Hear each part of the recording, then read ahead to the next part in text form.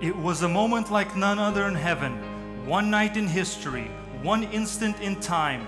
God the Son, who existed always and forever in perfect communion with God the Father, was preparing to step from heaven onto the earth below.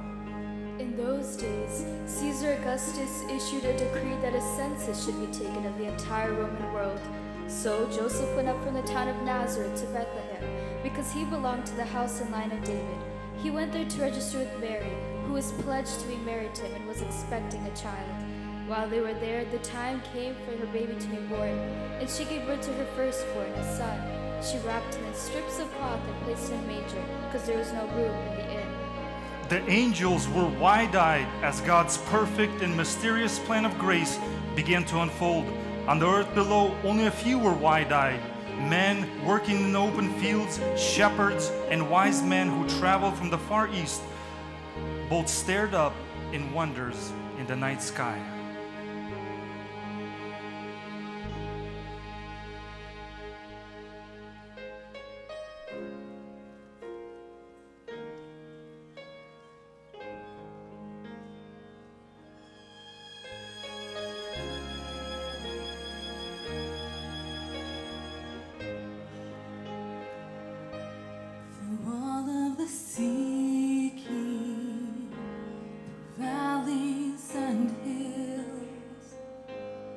Shepherds and wise men, for glory revealed, seems like the greatest